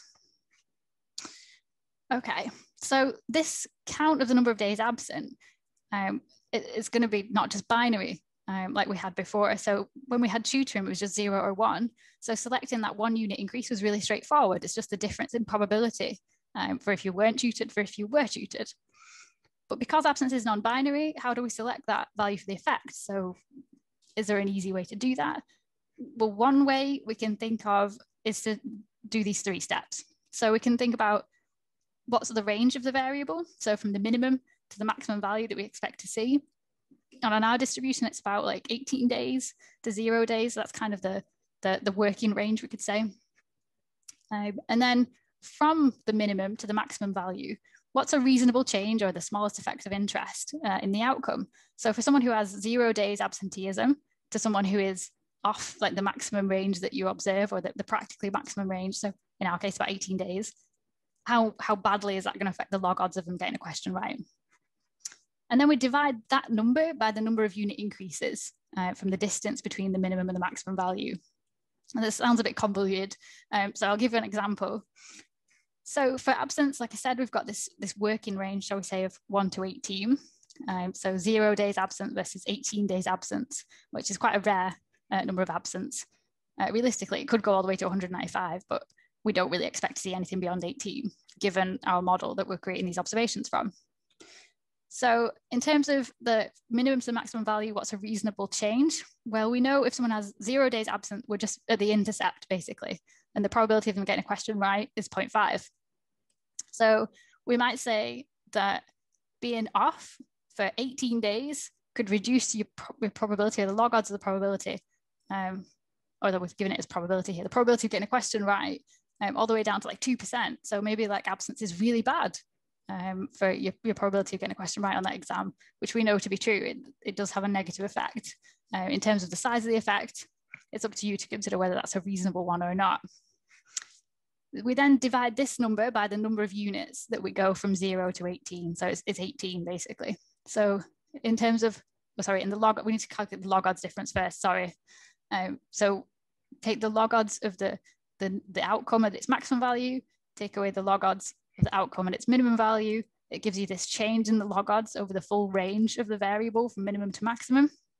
And then divide that by the number of units, which gives us minus 0.2-ish. And that's the single unit increase uh, for beta 2. Sorry for the convoluted explanation there. So basically what we're doing is saying, what's the minimum to the maximum? How big of a change do we expect to see in the outcome for that range? Convert that to log odds divide it by how many units we take to get there from the minimum to maximum. That's the coefficient. Now, for the um, logistic model, that logit link function to a probability number, that's a, called a nonlinear transformation. So linear increases in one don't correspond to linear increases in the other. It's just a point that I want to make in terms of interpretation. So for every one unit increase in beta 2, so the effect of absence, we do get a linear increase in the, the log odds. But what we don't get is a linear increase in probability because of that transformation not being linear. So what that means is unit increases don't give us the same probability increases over time. They give us the same probability, the same log odds increases over time, but not the same probability increases over time. And I'll give an example to show you what I mean. So assuming we just had this, this model where we ignore everything else for a minute, if we say that the, they have zero days absence, we've got this intercept of zero, we've got this effect of this minus 0.2, we times by absence, they don't have any, the log odds is zero, the probability is 0.5. That's where, where we are right now in terms of no absence. Then when someone has one day's absence, we have one lot of this coefficient. So one times 0.2 minus 0.2. Log odds is minus 0.2. And the probability is that is 0.45. So we have this 5% drop uh, for this one day absence. But then when you start to get down to values down here, um, the change in the probability isn't linear anymore. So to give an example, when we have uh, 18 days absence, we times the 18 by the 0.2 minus 0.2 to give us this log odds of minus 3.6. And the probability of that value is 0.02. And the difference between 17 days in probability terms and 18 days in probability terms is only 1%. So because of the, log the logit function being nonlinear, even though at each point here we have a difference of 0.2 going down, the difference in probability doesn't stay the same.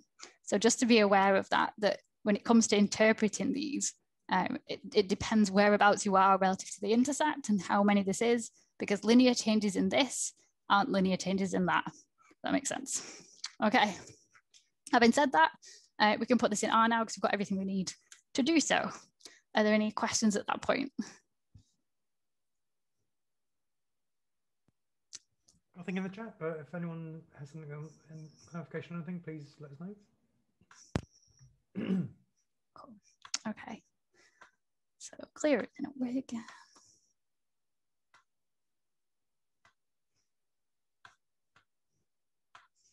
Okay, so section four. So exact same model as before, exact same situation. It's just we've now got this part in the model, which is the effect of absence with some observation of absence as well, uh, which here is the difference in the log odds between these, which gives us this minus 0.2. Okay, so we run these, create them as objects in the environment. There we go. And the rest, and I'll just create that data frame now as well. So it's the exact same data frame as before. Nothing's changed. I'm sure you're tired of hearing that by now. Um, okay, the observation of tutoring that we created before, um, we're creating that in just the same way. So every pupil has that 30% um, chance of being someone who received tutoring. In absence, we're creating, um, as we said, as a, a, binomial distribution, so an observation from that binomial distribution, um, where on every day a pupil has a 2% chance of being off. So again, it might not be a very reasonable model, but that's what, what we're going to use. So we create a, a, vector of the, the count of absences, uh, which is here. So we've got this first value of five, the next one's five. So the first two people were off five days in the school year. Then we're going to add that to the data frame and we can take a look at that. Uh, so we've got this absence count for five for the first pupil, and as it goes down, it'll change. Pupil seven had four days off, etc. Uh, we're not building any dependence in in terms of like the relationship between tutoring and absence. So these are kind of just assumed to be independent. Uh, maybe we might actually expect that absence and tutoring could relate to each other. So maybe people who are, who off a considerable amount might make up for time um, with having private tutoring, or maybe we might actually see that people who are really studious aren't off very often and also have, have tutoring. Uh, but we're not taking any of that into account in our model. We're just saying they're separate, they don't co-vary, don't care about that relationship, even if it's there. Okay, so we'll add in these columns for the effects, which are the fixed effects because they're the same for everyone. So it's 0.619 for the effect of tutoring and minus 0.2 for the effect of absence. Then I'm going to add in those deviates that we did before for pupil, school, and question. Add those in as columns. And then just like before, we're gonna create this log odds um, of the response being correct. And we've got the intercepts, the effect of tutoring times the observation of tutoring, the effect of absence times the observation of absence, and then the variance at the level of pupil, pupil school in question. Okay, and then convert that to a probability, and then sample from the binomial distribution with a trial size of one, so binary. And here we go. So it's getting longer and longer at this point, um, and we end up with for this person their absence five is times by this beta two so they get five lots of this so like minus one on whatever their score is and they weren't tutored, so they don't get this increase of log odds here. They just get an intercept, five lots of beta two, and then the, these rows are added up uh, to create their log odds. And then finally the probability, and then their observation of a correct response or not. Okay, and now if we take a look at the simulated responses, me make this bigger, things are gonna be a little bit more noticeably different now uh, because we have people in our model um, the actually the average number of days of being off is uh, 3.5. So that means that the average probability of getting one right isn't going to be five at uh, 0.5 anymore. We're going to going to be lower than that, and it's going to be point minus 0.2 times like three and a half lower than 0.5, whatever that is. As in, uh, here was the average, but on average we have 3.5 times oops, minus 0.2 ish less. So the mean should be around 1.2 in probability. Oh yeah, I'm, a, I'm times in log odds here, so ignore this, sorry. Uh, it was a drop of like 0.5, wasn't it? So the average probability should be around 0.4, 0.35, something like that. 0.4, okay. So more or less what it is. If you didn't follow what I'm saying there, what I basically mean is um, because we've got these people now in our data frame that are off um, this is going to change where the intercept is now. So the average number of, the average probability of getting a question right uh, is going to differ because on average, people tend to be off about three days. And we can take a look at the ggplot of the effect of absence in terms of the observed probabilities. So here, each sort of box that's numbered uh, is the number of days someone was off for. So in the case of no days off, um, the difference between them is about zero is about half of one. It's hard to see because like the number of counts is, is how many times you see them. So the higher ones is more often people are off four days, three days, two days. Not many people were, were not off at all. But you start to see that things change. We end up with uh, the left-hand bar, zero responses are, are about like 50-50 with one. And then as the number of days increases, then we start to see people getting questions wrong a lot more than they're getting them right. Um, when we get down to other observations, it gets a bit noisy because we, we get less people in these situations uh, with having ex extreme numbers of days off. Does that make sense? Uh, and we can calculate the, the um, observed probabilities with this aggregate function. So we can um, count the responses by whether they were absent and then calculate the mean. So we're taking like the average probability um, or average observed probability of getting it right or wrong. So here for someone who was off no days, the observed probability of them getting a question right was 0.58, so above chance actually. Uh, if you were off one day, your observed probability was 0.55. As you can see, it starts to drop. Uh, they are a bit noisy because we don't have that many observations of people who are off nine or eight days. Um, we've got this 0.2 here, which is the lowest. Uh, but in reality, we know that actually people who are lower down will have the lowest probability. But that's just because we don't have many observations there and it is noisy data that's just how it goes. Okay, so we've done it in terms of adding two predictors to the model. Um, so we'll move on to the next section now, which is about power.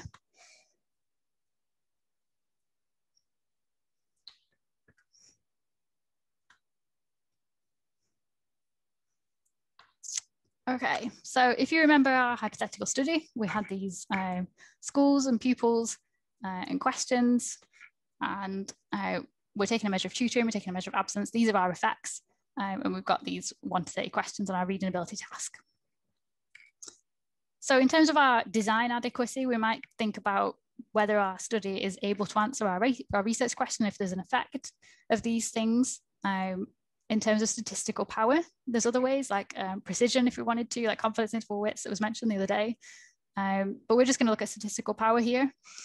So given the fact that we've sort of simulated up until this point with 25 people, uh, pupils even, from 10 schools, 30 questions on the test, uh, what's the probability that we can get p-values for the effects of tutoring and absence, which are less than 0.05? So we know that those effects exist in our data frame, we've created them. So given that they exist and that those values we've selected, what's the probability that we're gonna be able to reject the null hypothesis? We're gonna be able to say that they're not zero, okay?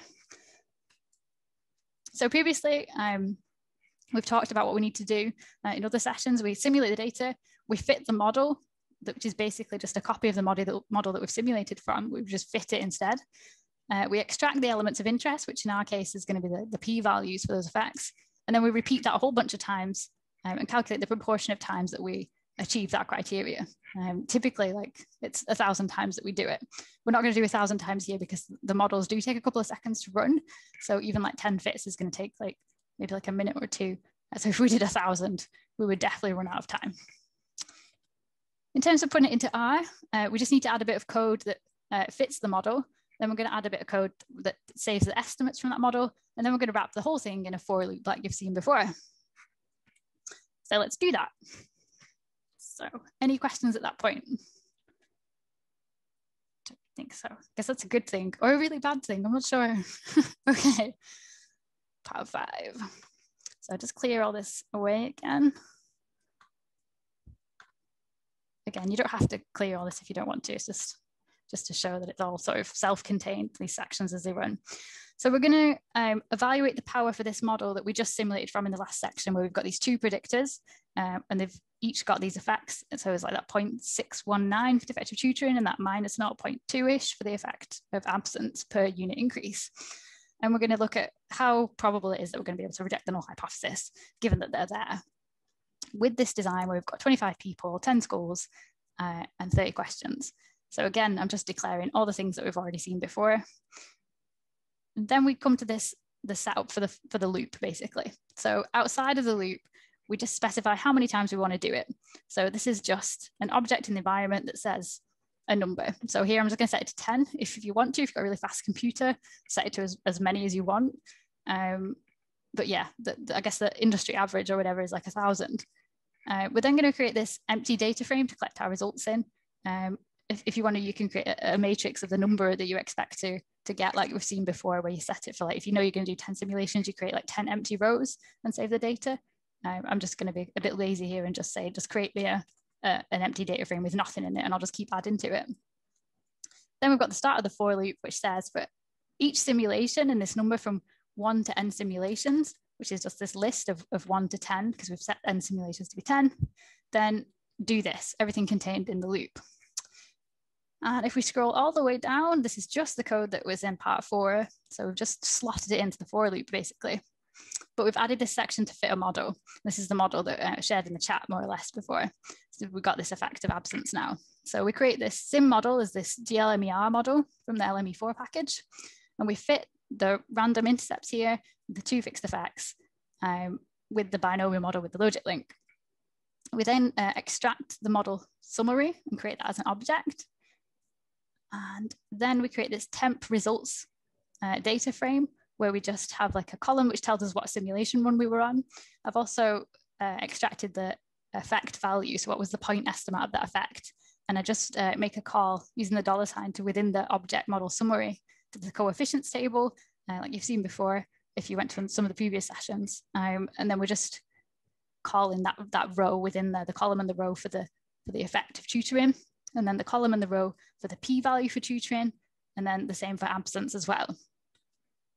And then when we're binding that together in our results data frame with the temp results that we've just created here, then it's just recursive to keep adding rows to uh, our data frame, as we probably already know. Um, and I've just added a line to tell you how far through the simulation you are, so it can give you an idea of, of how long you can be, be waiting for. Okay, so just go back up to the top. We can set this off. So just give it a minute to run. Should be two dev 10, but if you've set it for something more, then yeah, you'll be waiting for a bit of time.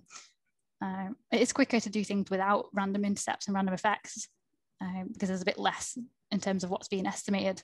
Um, so if you are doing something that's a more complex model, then this time is just a reflection of how long the models have taken to fit. We've got a question in the chat, which is uh, what's the justification for the number of reps? Thanks. That's from Jacqueline. Uh, as in the number of simulations? Is that what you mean? Yeah. Did you say yeah? Yeah, yeah, the number of simulations. So here I've just set it to 10 just, just to show you as it runs through because I've not got time to do it for more. Usually it's a thousand because people tend to say that that's about as many as we would want to get a decent estimate of the statistical power because we're estimating power here, we're not calculating it. If we'd used a formula to calculate power, then we get the exact solution. But because we're using simulation, we need to do it lots and lots of times to estimate it. A bit like when you estimate the mean, um, you have to take lots of samples. These simulations are the samples. A thousand's meant to give like a, a decent view of like the randomness in the simulation. Um, and then you take the, the average of that many samples. You can get designs where actually a thousand is not enough and you should do more simulations, um, but people don't tend to do more than a thousand. Sometimes I've seen like 10,000, but I think that's a lot less common. A thousand is usually just what you go for in the same way that people pick uh, an alpha of 0.05. I'm not saying it's right, it's just what people do. Okay, so uh, I was wondering how uh, can you calculate the number of repetitions when convergence of the model does not occur? Yeah, yeah, yeah, I've done that before. Um, so you can get ones where you end up with the, the model not fitting continuously. You can use what's uh, called a, like a while function. I think it was where you say like, if this number hasn't been fulfilled yet, so say I want like 10 or 100 or 1,000 simulations, um, and you keep count of how many failed and how many converged. Um, and you say, until I've reached that number, keep running them. And then when I get to the point where I've done it, um, stop basically. Um, I don't know the, the code off offhand, so I can't give it to you, but I think I'm pretty sure it's called a while. While this is happening, do this. That, that was the question for my. Thank you. Okay, bro. So scrolled really far down. okay, so we've run our simulation. If you've done it on your PC, hopefully yours is more or less finished by now. Um, and now we can do this bit where we can estimate power. And what I'm going to do to do that is to just add a binary indicator to this results data frame that we've created. If we have a quick look at the results data frame. So for each simulation, I did 10 simulations. I've got a row for the model fit. I've got this effective tutoring, this effective absence, and the two p-values for those. I'm then going to add a column for each of those to say whether it was significant or not. So it says if else, if the p-value for the tutoring was less than 0.05, give it a one. If it was above that or equal to it, and give it zero, so like a fail. And then if we take a look in the results data frame, uh, you can see that these p-values are they're happy. So good stuff. And we can take the mean of that as the proportion of significance. So basically the, the probability of, of getting significance. And according to our design, we're doing really well. But again, this is just 10 samples. And if we want to actually estimate the power with a bit more accuracy, we should increase it. Um, but according to this, it, it, looks promising. So if we ran a, a thousand simulations, we, we look like we, we could well be above the, the 80% power, which is that conventional level. Okay, so next part.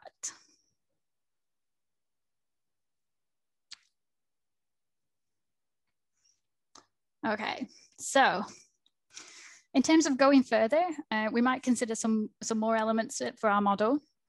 So for example, we often have in our designs these uh, within participant predictors. So not just uh, nested observations of the outcome, but also nested observations of the predictors. So sometimes if you're in the same condition, so like a repeated measures design. So if we had this repeated measures design, we could consider random slopes. So that's random variability in the effects, basically. So that's basically kind of like saying if tutoring was within like a repeated measures, so people uh, participated in a condition where they were tutored and where they weren't tutored before a test, assuming there's like two tests, um, then we could say the effect of tutoring differs between people if there was random slope variability on that effect. So like I said, we'd need to have observations of people being in both conditions to be able to add these random slopes. Um, so it's kind of like longitudinal data or just a design where you're, you're under both conditions, repeated measures designs. If you recall, the design that we've been working with so far isn't repeated measures. So we're going to have to alter that a little bit to be able to include random slopes to look at here. So we're going to alter this to be looking just at the effective tutoring. We're going to just ignore the days absent for now and look at reading ability. And we're going to assume that there's two tests now. So we're going to sample people in the same way from a sample of schools. And we're going to say that there's going to be this first reading test where people receive tutoring and answer 30 questions. And there's going to be a, a, second reading test where they don't receive tutoring and answer 30 different questions for that test, if that makes sense. So now tutoring is, is repeated measures, it's within participants. So the tutoring predictor, now that we are kind of assigning people to being tutored or not, then we're just going to have it as a balanced 50 50. You either tutored or you're not, and you're going to be in both conditions. So, like a perfect design where everyone takes part in both conditions. If you wanted to make it noisier, then you can just sort of drop out some rows from your data frame at random to, to simulate missing random data. Um, but we're also going to add a new index to our model, um, T, which will be like the test that they're doing. Uh, and that's going to be whether they're doing test one or test two. So if we look at the, the new model, we can say the response of a pupil from a school to a question on a test, so whether we're doing test one or test two, is Bernoulli distributed with some probability for the parameter theta, which is the probability that that response was correct for that pupil from that school to the question on that test. And then in terms of our linear model here, we've got rid of the absence effects. Like I said, I'm not going to consider that. We've just got the effect of tutoring specific to the pupil and the test. And we've got the fixed effect here that we had before, this value. We've also got this part here, which we're having as pupil variability in that effect in tutoring. So this here is the random slope. And again, the fixed part, we're going to keep the same as the 0.62 or 0.619 that we had before. And we're going to have this random part, which controls variability in that. So some people get a stronger effect of tutoring and some people don't really benefit very much from tutoring or might even get worse from tutoring. I would hope not, but you never know. So we're going to parameterize the, the sigma, of the standard deviation of this distribution. So again, how to select what this should be. Um, you can think about the size, the scale of the sigma, and you can think about that relative to the size of the effect. Um, we've got this 0.62. Uh, and if these were the standard deviations, these would capture how much people sort of like diverge from this average. So how, how different would, would you see people? If the standard deviation of our, our random slopes was five, that's, that's quite a massive difference from this average, really, really noisy effect. Um, so like 95% of people would have plus or minus two lots of this on their score. Um, that's quite high. So we might consider something a little bit lower. Um, so I'm going to consider 0.5 so a decent amount of variability, but not clear, clearly not masses of variability. Okay, so we're just going to put this in R. Let's take a look. Okay.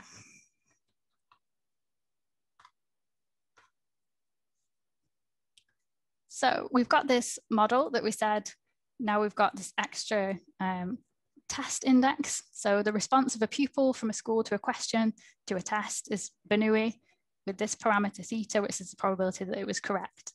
And then this linear model, we've got the intercept, a fixed effect here, plus their individual deviate, uh, the random slope, times by whether they were tutored or not for that observation, plus the randomness. Then we're just to declare all these variables and let's create these in the environment and create that data frame. And if you noticed here, I've got this new column called test, uh, and that's just to reflect that index of whether they're doing test one or test two. So the first 30 questions are gonna be on test one, and the next uh, 30 questions are gonna be on test two. Okay, so observations of predictors, like we said, uh, we're just gonna have observations of tutoring as 50-50 because we're just assigning people now to whether they receive tutoring or not. So we're just gonna repeat zero and one for half of the participants' responses all the way through. So this first test, they received no tutoring. And then for the second test, they did. They're just repeating all the way through. Okay. Add in the fixed elements, exactly the same as before with the intercept and the effect of tutoring. And then we've got the random intercept variances that we're going to add in that we had. Add those in. And now we've got the slope variance part. And it's basically the exact same logic as the random intercepts part. It's just we add it to the, to the effect value before we times it by the observation of tutoring. So first we create this uh, vector of random slope deviates, random effect deviates here. Uh, and then we're going to add those to the data frame just the same way as the, the random intercepts. So here we get this deviate for the slope. Okay. Calculate the log odds of the response, just like we did before. But like I said, we're adding the fixed effect and the deviate together and then times in by the observation of tutoring. Convert that to a probability and then sample from that binomial distribution. So again, we just end up with this log odds probability response. Okay. And we can look at the uh, histogram, which as always is not particularly exciting uh, in the mean. But what's more interesting is to check out those random slopes. And these are on the effective tutoring on the observed probabilities. So let's take a look at that. So instead of having straight lines now, so if everyone had the same effect, there's a lot more noise in there now. So some people have quite steep slopes, some people have uh, almost flat slopes, and there's actually quite a few negative slopes in there. So that sigma that we set is enough that for some people, the effect of tutoring is negative. Um, so if we were doing this for real, we might think, is that a reasonable thing to think about? To think that that tutoring can reduce your, your performance on an exam. Um, right now, maybe, maybe not. I guess it depends on what these tutors are doing with their pupils, I, I guess. Uh, we can also calculate the, the proportions of those uh, as well. So the probability of getting a question right, given that you've not had any tutoring, which here is that 0.48, so around 0.5, which was the intercept. And then we've got this uh, probability of getting it right, given that you've had tutoring, which is 0.63. And if you imagine, uh, remember the average effect, so that beta one, the fixed effect just on its own was the 0.65. And we're getting more or less there. Uh, we've just got deviance around that and we're going to end up with more noise because we're introducing more noise to the model. Okay, we've got a little bit of time left uh, to talk about covariance. Uh, if there's no questions, I'll just steam, steam ahead.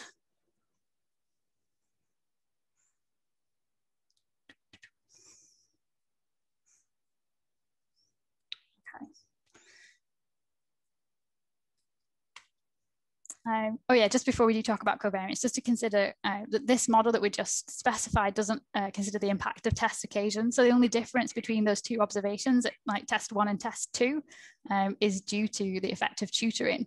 Um, but if you were doing like an actual longitudinal design, you might consider that there's like developmental stuff happening and people improve for all kinds of reasons, or maybe actually they might drop for different reasons. Um, it's also not counterbalance that design that we just did. Everyone did test one on occasion one, and everyone did test two uh, on occasion two, having had tutoring. So if there was differences between tests, we wouldn't know if it was the effect of the test or if it was the effect of tutoring. Um, so we'd really want to counterbalance that if we were actually doing this as a study. Uh, and that, that model didn't also consider the relationship between random slopes and random intercepts, which is what we're going to look at in terms of covariance. So the covariance between the intercept and the slope, we could sort of think that people start at different places in that probability. And because of those different starting points, they might systematically respond differently to the effect of tutoring. So if you think, for example, someone who's already quite weak in terms of how likely they are to answer a question correctly, they might not respond very well to tutoring because they've got so much ground to make up that the tutoring just isn't having that much of a, an effect on them. But someone who's really, really able might get quite a lot out of tutoring. So they'll have a really, really strong effect of tutoring. So that's what that that covariance ends up. You end up with a relationship between your starting point and your finish point. So we can capture that by allowing the individual deviates to co-vary. And what I mean by that is when we simulate those individual deviates at the pupil level, instead of simulating them from two separate uh, univariate normals, two normal distributions, we could actually use what's called a bivariate normal, with a covariance. So this is kind of similar to some of the stuff in the faux package where we're specifying a relationship between these normal variables. We can say that there's covariance, they're dependent, and your difference from the intercept is going to be related to your difference from the effect. So let's take a look and do that in R really quickly. I know we've only got five minutes, but no pressure. So I'm going to run through this code fairly quickly uh, in terms of what we're saying. So we've got this model, it's basically the same as the one that we just looked at with that random slope. But in terms of the sigmas of these, we end up sampling from a bivariate normal that has this uh, vector of means, which are both zero, sorry, here, and this sigma, which is the covariance matrix. So this, this is getting down to more complex stuff. So if you if it's a little bit unfamiliar, then honestly, don't worry, it's fine. Um, and if I had more time, I'd go through this uh, properly and it, it, would make a lot more sense. But basically, we're just sampling from two, two distributions that like stuck together and have a, a dependency structure. Okay, so if we do that, and I'm just gonna highlight this bit of the code mm -mm, to create a distribution. Okay. So we've used the mass package, the mvrnorm function, to create these uh, deviates for like the intercept variance and the slope variance. Um, that's what we're going to add into our model. And the data frame again, just like before.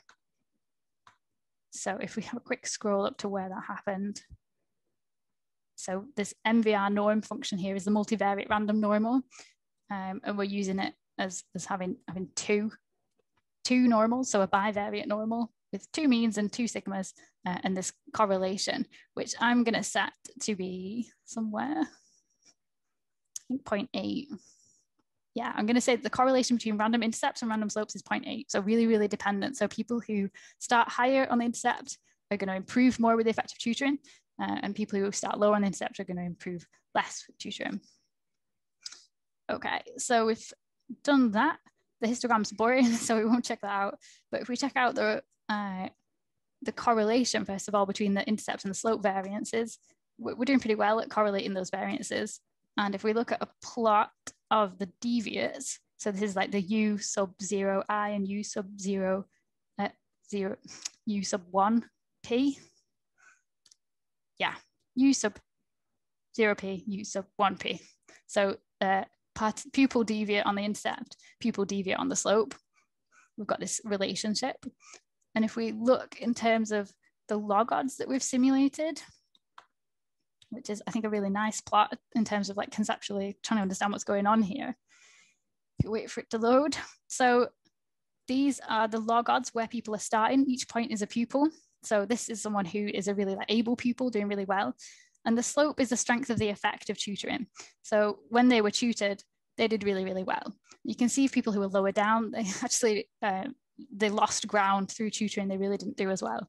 And this positive covariance between uh, the intercept variance and the slope variance ends up this sort of fanning out effect. You get this sort of this shape. Um, if it was a negative, then it does the opposite, it pinches in at the other end. So it's basically what we've simulated. So we've just simulated the, the structure where the effect depends on where you started uh, in that baseline group. So we're basically at time at this point. Uh, sorry that we rushed through that last section, uh, but I did want to mention it and just sorry it was kind of rapid. Um, so yeah, if there's any questions, I'd be happy to answer them in like 30 seconds. Thanks. So yeah, there's just one question, which was if you wanted to uh, set the effect of tutoring on uh, to always be positive, would you use a different distribution in the simulation? Yeah, I, I guess. So um, if you had this fixed effect, this, this value for beta one, the effect of tutoring, that's just fixed. And if you want variance around it, um, then you can have that to be distributed however you want realistically. But it is worth saying that the multi-level model assumes that variability to be normally distributed. So if you're working within just the standard multi-level model framework, then you need to make sure that you're using a normal distribution for that. If you were using, um, if you're familiar with like the BRMS package, the Bayesian one, then you can put like a prior one that says it is a, a different distribution. Um, but here it's probably best to stick with the normal. You just want to make sure that the standard deviation doesn't take your effect negative. So look at what three standard deviations from that normal looks like. And if it's bigger than what your fixed effect is, then reduce it. Great. Well, thank you so much, Sarah. That was absolutely amazing. Um, we'll get this all put up onto uh, YouTube in the next couple of hours. It usually takes a long time to convert and stuff, but I'm sure everyone will agree that that was an absolutely fantastic workshop. Thank you so much yeah, it was a pleasure. Thanks so much for listening and sticking with it. No, no, yeah, pleasure. Okay.